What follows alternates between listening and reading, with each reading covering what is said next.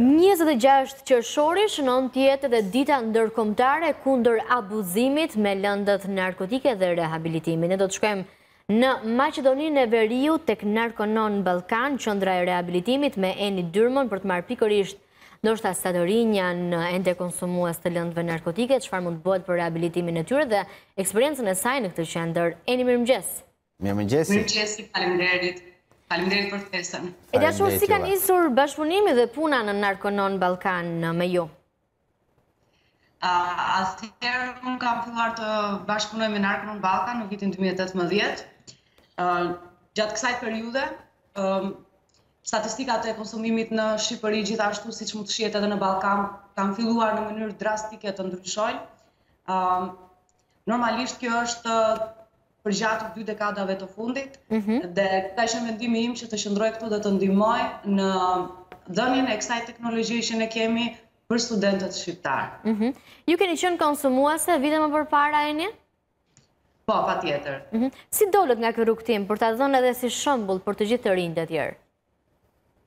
Personalisht unë kam dalë nga ky rrugëtim duke përdor, duke qenë pjesëtar e programit të Narconon.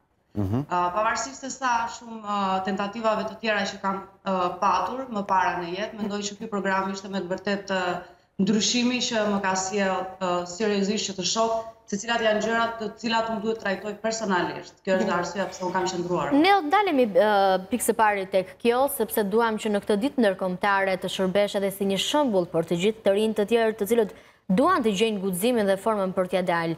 Fillimisht si nisi abuzimi, pra faktorët që të shtynë dhe të çuan drejt kësaj rruge e cila për shumë njerëz është pa rrugëdalje në fakt. Po, normalisht abuzimi fillon për arsye të ndryshme për çdo person, le të mhm. themi. Një nga faktorët kryesorë është mosaftësia e konfrontimit të një situate e cila lidhet ndoshta me fëmijërinë. Mhm. Këto janë gjëra të cilat nisin herët në jetën e dikujt. Po. Mund të jetë, për çdo person është ndryshe, mund të jetë komunikimi, mungesa e komunikimit, mund të jetë mungesa e aftësive të ndryshme për të arritur diçka që personi ka për qëllim që ta arrijë në jetë. Po. Më pas ju përmendët disa nga praktikat që përdorët personalisht për t'iu referuar më pas Narcononit. Cilat kanë qenë disa nga tentativat personale që ju i përdornit për të dalë nga përdorimi i drogës, pra për të dalë nga ky rrugëtim? Normalisht ekzistojnë sot qendra rehabilitimi të tjera të ndryshme, po mendoj përveç pjesës së Narconon Ballkan, që unë personalisht punoj tani. por ato qendra ofrojnë një lloj shërbimi të cilët për mua personalisht nuk kanë nuk kanë patur efektivitet. Mhm. Çfarë mm përdorin kryesisht në Maqedoninë e Veriut? Çfarë droge përdorin kryesisht? Kryesisht janë drogat e drogat e rrugës ose drogat rekreative si quhen tani, aty mund të përmendim uh, heroinë, kokainë, marijuana, Mhm. Uh, gjithashtu dhe antidepresant, pasi ne në qendrën tonë ato i quajmë një formë tjetër. E si trajtohet një person? Si trajtohet një person në narkonon dhe ndoshta edhe nga eksperienca personale mund të tregosh ti si je trajtuar që më pas ke dalë nga, nga kjo gjë? Uh, atëherë, programi specifikohet në tre faza kryesore. Faza e parë është abstinimi, ku personat lënë konsumimin, ndryshe siç mund ta quajnë personat të cilët konsumojnë është pjesa e kalimit të krizave. Mhm. Gjatë kësaj faze, personat marrin shumë vitamina dhe minerale dhe gjithashtu janë nën mbikëqyrjen e pjesëtarëve të stafit çdo 6 orë, 8 orë, domethënë ata janë 24 orë me pjesëtarë të stafit, ku mundet që të marrin ushtrime të ndryshme të cilat i ndihmojnë fizikisht dhe mentalisht që kjo pjesë të jetë më e lehtë. Kjo është pra faza e parë. Më pas ne kemi pjesën e dytë të programit, e cila është pastrimi i trupit. Ë do doja të ndaloja këtu dhe të shpjegoja diçka, një po. person i cili konsumon ë toksinat qëndrojnë në inde dhe qeliza. Ky është një kërkim i cili është zbuluar në vitet 1950 nga L. Ron Hubbard. Po. Edhe është zbuluar që mbetjet toksike qëndrojnë në trup, edhe ato ndikojnë në sistemin e trupit, po. pavarësisht se personi ndalon ose stopon së konsumuari, që do të thotë ato herë pas here tentojnë të riaktivizohen, dhe gjithashtu kjo është një nga arsyet pse njerëzit relapse. Uh, ka shumë njerëz të cilët konsumojnë edhe më pas pas disa vitesh uh, kanë sëmundje. Pasi kanë kaluar ata fillojnë sërish. Uh, Rikthehet sërish po. Po, edhe në këtë proces e trajtojmë duke përdorur programin e detoksifikimit, edhe ne aty përdorim një vitaminë që është shumë e veçantë, quhet niacin, edhe është vitaminë B3, edhe kjo vitaminë ka si qëllim që të sulmojë të gjitha toksinat në trup, edhe normalisht nëpërmjet saunës së thatë që ne kemi në program, ato i nxjerr nëpërmjet djersitjes, të gjitha toksinat. Eni, a pate ndonjë moment në jetën tënde gjatë trajtimit që dëshiroje në formë të pazgjidhshme për t'u rikthyer sërish në konsumim? Pra, çfarë kërkon trupi i një konsumuesi të këtyre lëndëve gjatë trajtimit, për ta kuptuar më tepër?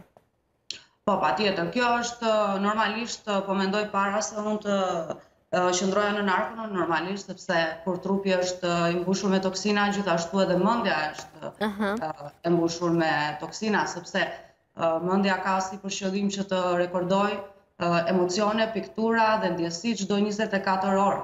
Edhe ato emocione dhe ndjesi të cilat janë të rekorduara gjatë momentit kur një person ka konsumuar ato gjithashtu ndikojnë. Mhm. Kështu që në momentin që dikush është i pastruar si fizikisht dhe si mentalisht nga efektet anësore që ka krijuar konsumimi, atëherë personi arrin një stad të cilin ai nuk e sheh më konsumimin si një mënyrë për të jetuar. Cila është substanca më e vështirë për t'u lënë?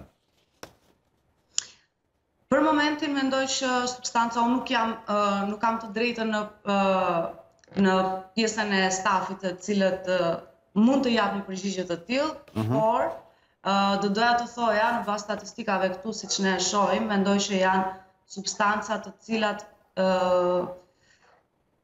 janë të dhëna në mënyrë ndryshim percepcional mental. Ato mhm. janë zakonisht në mënyrë në qoftë se ato abuzohen në mënyrë shumë të rëndë, mhm. po flasim për antidepresantët.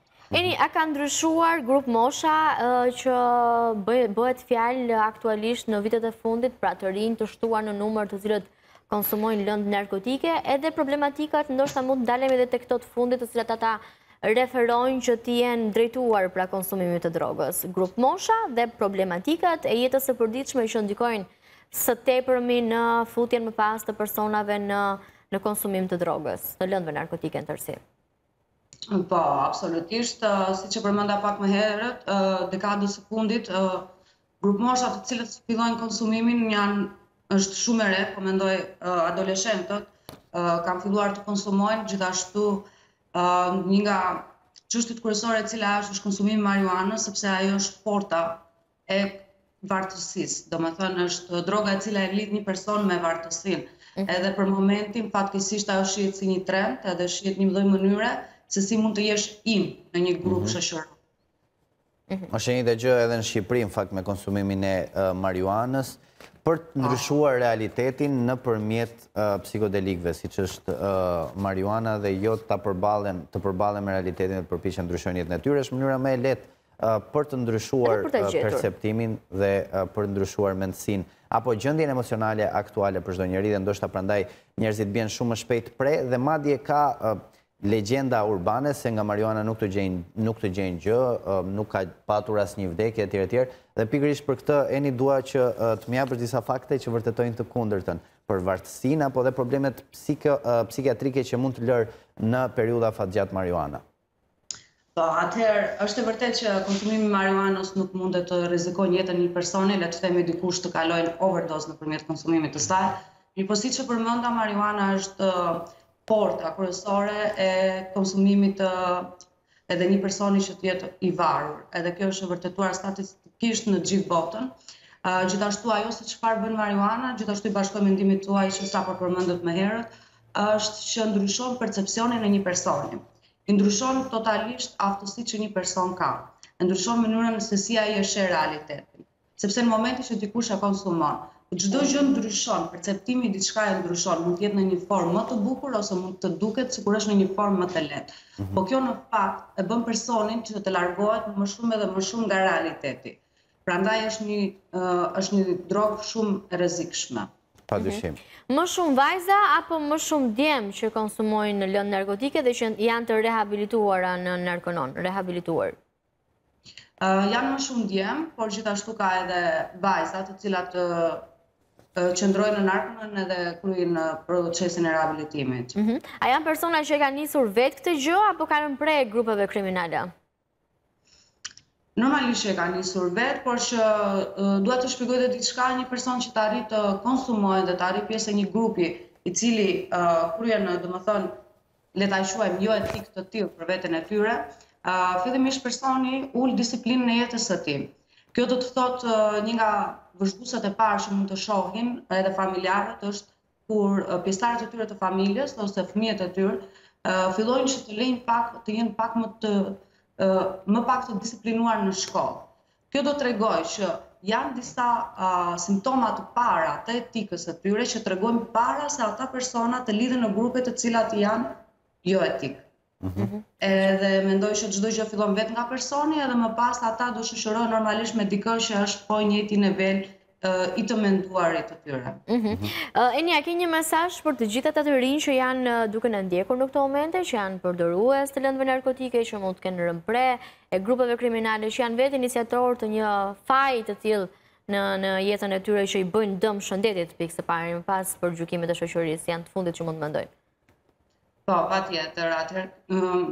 Unë gjithashtu i këshilloj gjithë të rinjtë të cilët e shohin veten, fillimisht është e rëndësishme që ata vetë ta shohin se kanë arritur në cilin nivel kanë arritur edhe si ka ndikuar konsumimi në jetën e tyre, edhe që me vërtetë marrin përgjegjësi për atë gjë, edhe ta konfrontojnë faktin që ajo nuk është mënyrë e të jetuarit edhe gjithashtu konsumimi nuk mund të sjellë një jetë të lumtur në në qoftë se e shohim në afatgjatësi. Mhm. E qartë, ne të falenderojmë.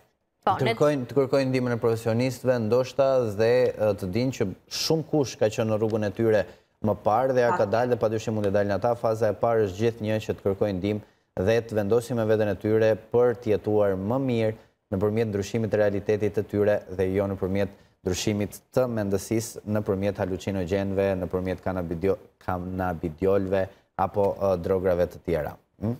Po, absolutisht. Do filloj punë dhe unë aty te Narconon.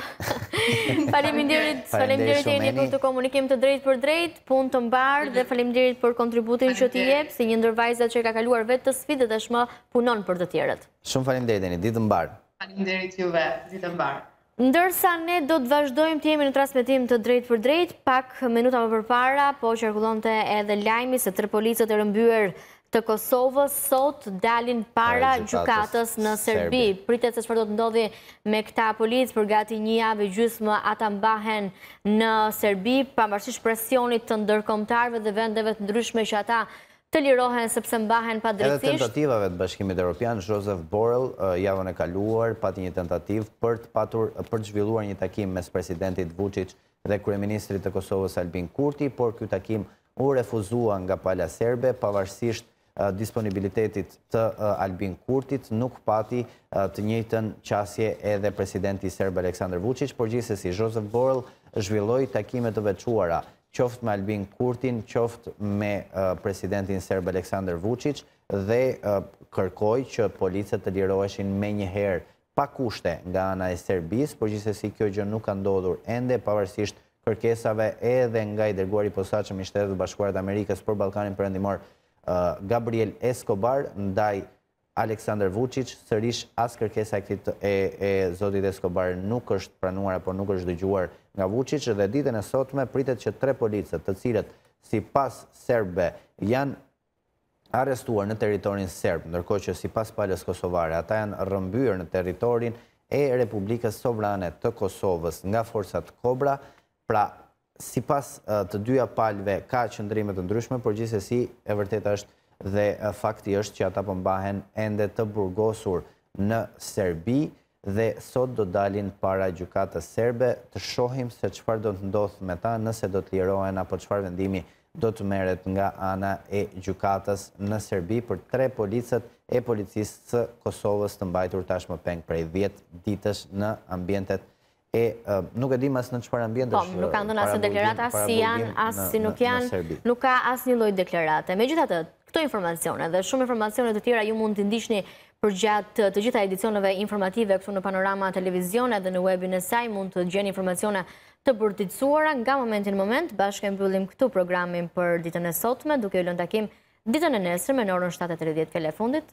Kledi. Panorama.com.al, vendi ku mund të informoheni për zhvillimet më të fundit nga vendi dhe nga bota, në kohë reale mbi ngjarjet më të fundit. Gjithashtu mund ndiqni edicionet informative në vijim, ashtu siç e përmendi dhe kolegja, në Panorama TV me ngjarjet më të fundit në kohë reale, me lidhje me korrespondentët tanë nga çdo cep i Shqipërisë apo me gazetarët tanë aty ku ndodh lajmi. Ne do të shihemi sërish ditën e nesërme, deri nesër ju duhet të kaloni, keni vetëm një vetëm një objektiv dhe një detyrë që ne po ua lëmë, të kaloni sa më bukur dhe të bëni sa më shumë qejf të jetë e mundur, gjithashtu të jeni dhe sa më shumë të disiplinuar për të realizuar objektivat tuaj, pasi kanë mbetur dhe njëqind e tetëdhjetë e tetë ditë deri në përfundim të këtij viti dhe të mos harrojmë që për dy mijë e njëzet e tre-shin, në përfundim të dy mijë e njëzet e tre-shit, në tridhjetë e një dhjetor, Dy mijë e njëzet e tre, Ju duhet të jeni versioni më i mirë i vetes suaj dhe të keni bërë diçka me jetën tuaj gjatë këtij viti dhe jo të kaloni vitet kështu pa, si pa gjë e të bini në atë rutinën tuaj të përditshme e në fund të jetës pastaj të pendoheni pse nuk keni bërë aq shumë gjëra sa ç'do donit të bënit apo sa ç'kishit kapacitet për të bërë. Shihemi sërish ditën e nesërme në orën shtatë e tridhjetë minuta, kaloni sa më bukur. E keni obligim.